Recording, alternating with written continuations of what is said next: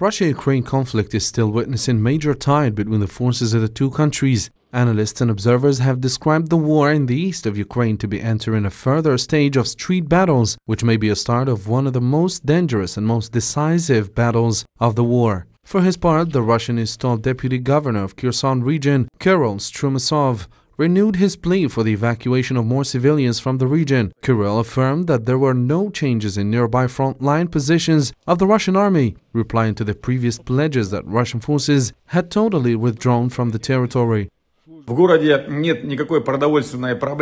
There is no problem with food in the city. There are products available. Some pharmacies are not working at full capacity, but people can access social benefits. We are also working on this. Evacuation from Kherson city continues. We're now evacuating bedridden people who are unable to move by themselves.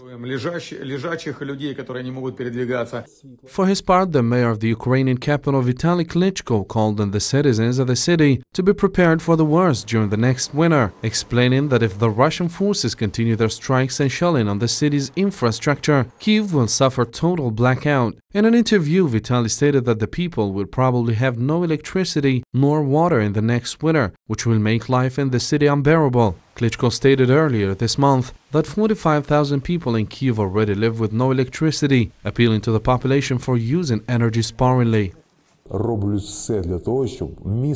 Our enemies are doing everything to ensure that the city is without heat, electricity, and water supplies, and in general, that we all die. This is their task, and the future of our country and our future with you, each of us, depends on how we will be prepared for different situations and how well we can withstand with them and how well we can withstand them. Therefore, you need to be ready. We do not rule out such a possibility.